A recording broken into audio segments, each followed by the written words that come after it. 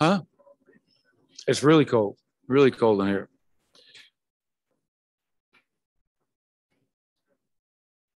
Yep. All right, go ahead, Mike Singer, kick it off. Hey, Michael. Um, c- can you just describe uh, the relief that, that you know you're probably feeling at 24 point lead at halftime? Uh, pretty frenetic uh, finish to this one.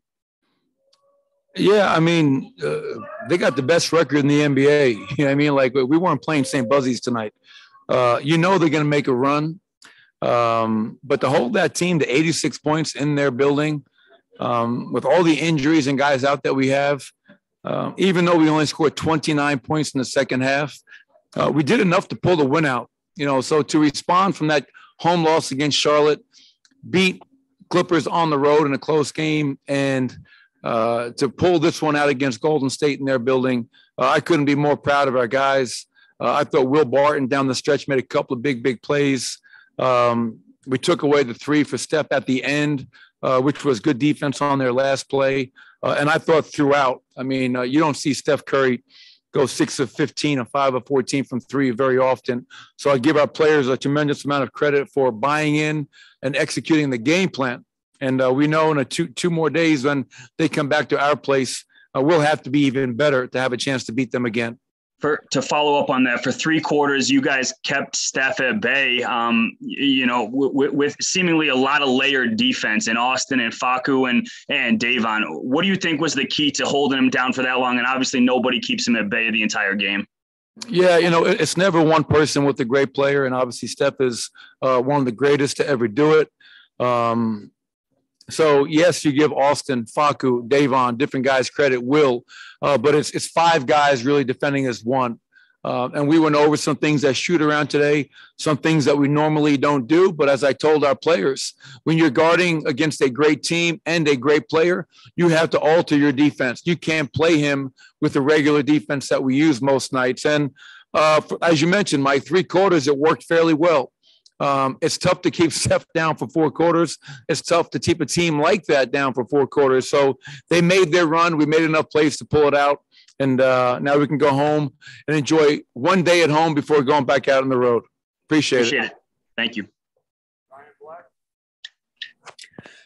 Coach, uh, I know you've had several examples in the past of Nikola's good defense, his improved defense. Uh, do you, is there another one that you want to add to the book tonight? Well, yeah, this is uh, reminds me of I think the play against Houston earlier in the season at home uh, when Nikola has a game sealing uh, block. Uh, tonight at the end of the game, obviously Nikola at the basket with a, uh, a a huge defensive play, which did not allow them to tie the game up. So um, Nikola having 18 rebounds, 22 points, uh, and making a key key play down the stretch is why he's a great player and you have you need those types of plays to pull out wins like this. Um, Will making a couple of shots, free throws at the end. Nikola getting that block at the basket. Um, we weren't perfect tonight, but we did enough things to get the win. We'll watch film. We'll learn from it. We'll try to be better in a few days against the same Warriors team at home. Hey, Coach. Uh, you talked about the importance of guard rebounding before the game. Uh, how satisfying was it to you to see Facu and uh, Will Barton come up with some big offensive boards down the stretch? Yeah, I mean, uh, you, you, need everybody. You know, we're always preaching gang rebounding, which means we need all five on the floor to help uh, in that regard. Um, you know, it was tied on the glass overall at 43 all, but we had 15 second chance points to their nine, uh, you know, which is always a good stat. Um, you know, and, and, we need that. You know, we need Will, we need Facu, we need Austin, we need guys off the bench, everybody to contribute to the cause. When we rebound, we, we win games at a high level. When we get out rebounded, uh, we have a losing record, and uh, there's definitely a correlation there. Hey, coach, I've got uh, two for you here, real quick. First, on that final play, was the assignment to keep the ball out of Steph's hands at all costs, or it just kind of work out like that? No, we uh, with 2.2 seconds to go, um, they're out of timeouts. We zoned the three point line, knowing that they needed a three, um, and, and, that's where we were able to stay on the outside, keep them inside the paint. Um, took away Steph coming to the ball, which was a plan. Iguodala broke loose, found a crack in that, and obviously got up a almost a desperation three at the buzzer. But Um, our, our guys executed the defensive coverage on that last play uh, very well. And then we're not even in New Year's yet, so I guess putting things into perspective, how big is this win considering the personnel that you had and and how I guess undermanned you were? Yeah, I mean, it's as I told our players. Was it pretty at all times?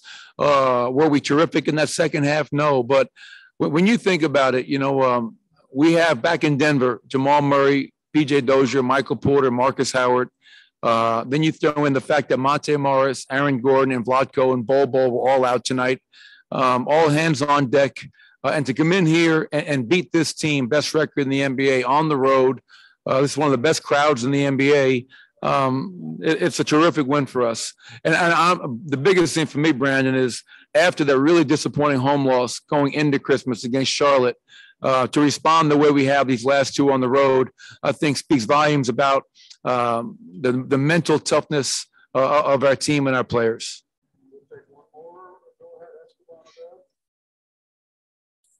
Hi, coach. Congrats for the win. Uh, what can you tell me about Facu's first starting game of the season and about the, the next game against Warriors, the opportunity to close the year at home? Thank you.